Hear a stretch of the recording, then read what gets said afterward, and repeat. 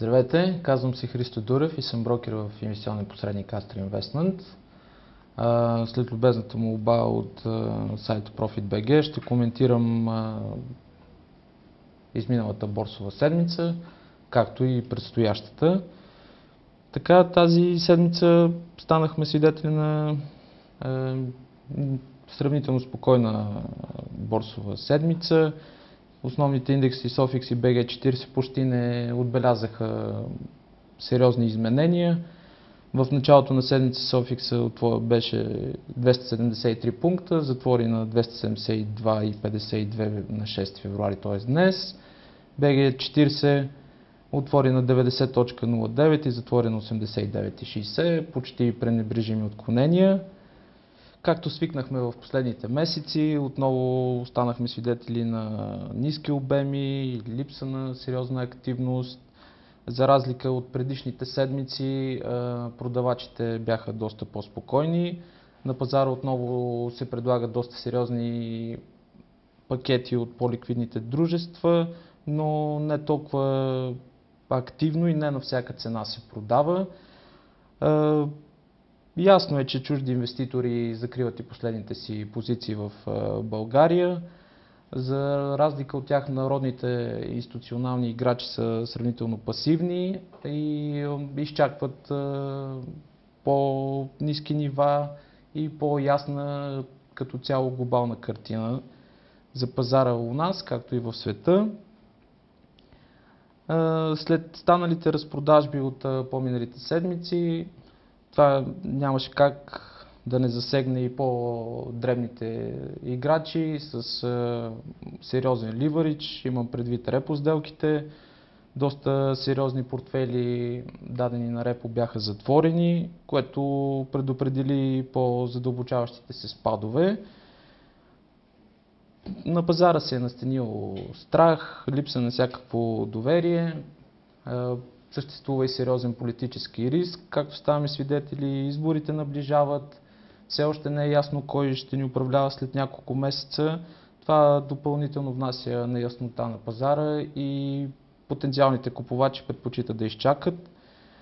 На всичкото отгоре глобалната економика продължава да понася сериозни негативни новини за съкръщения, сериозни загуби на банки, големи корпорации. Това беше неразделна част от изминалата седмица. По отношение на следващата, предстоящата, предстои да излязат последните отчети на някои публични компании, които се забавиха и не спазиха законния срок, но в интерес на истината не очаквам те да окажат сериозно въздействие на пазара, тъй като и вече излезналите отчети на някои компании доста добри при това не оказаха сериозно раздвижване, даже напротив, позволиха на, игра, на продавачите да реализират по-големи обеми. Това беше единствената така, промяна. Очаквам да се запазят ниските обороти, търговията да е в тесни граници, Лично не бих, не, очаквам Софикс да не се измени с повече от 10 пункта през следващата седмица, нагоре или надолу, то това е без а, особено значение. А, при конкретни новини обаче са дадени компании може да очакваме сериозни изменения. Пример бих дал с инфраструктурните дружества, листнати на нашата борса. Всеки момент се очаква официално становище от Европейската комисия в Брюксел дали търговете за магистрала Тракия ще бъдат окончателно прекратени или процедурите ще бъдат продължени. При евентуалното продължаване на тези процедури това някак да не се отрази доста положително при тези акции. Цитирам Холдинг пътища, Мострой и Group Cloud. Те са единствените представени на борсата.